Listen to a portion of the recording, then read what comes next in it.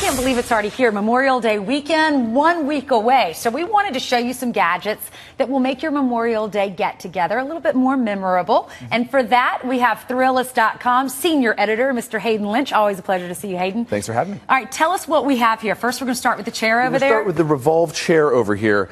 You know, if you're going camping, anything like that, you're going to want one of those nice collapsible chairs. That's Uh-huh. Yeah. what this is, but it has a really nifty feature here. Can we sit in it? You can go right ahead. Right. Take a seat. I'm also going to serenade you with some some Hall & Oates because it has and it revolves all the way around. built into we it. go this way? You can go So we 360. go all the way around.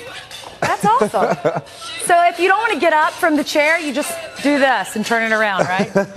it's the La-Z-Boy version Exactly. of, for tailgating. and if anyone's coming to Day take your chair, you'll know you can turn around. All right, that's awesome. You can play your music. You'll Yep. be the hit of the party. So- all right, what is this?